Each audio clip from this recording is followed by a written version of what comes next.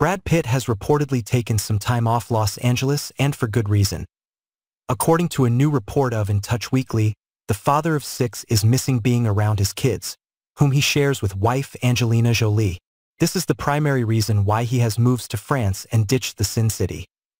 In LA, Brad was haunted by being so close to his kids and yet so far. An insider began at IT is pertinent to mention here that Brad and Angelina share six kids. Maddox, 22, Pax, 20, Zahara, 19, Shiloh, 17, and twins Knox and Vivienne, 15. The source also explained that he hopes that this distance from his estranged children will give him relief from mental stress. He's now saying a change of scenery might be what his mind needs. The confidant dished and continued. At least until they start wanting to spend time with him again. This comes after an insider told Star that their kids are frustrated by their continuous battles. Speaking to the outlet, the inside claimed that the duo's children are sick and tired of seeing their mother and father at each other's throats. It's dominated their lives for the better part of a decade. They added,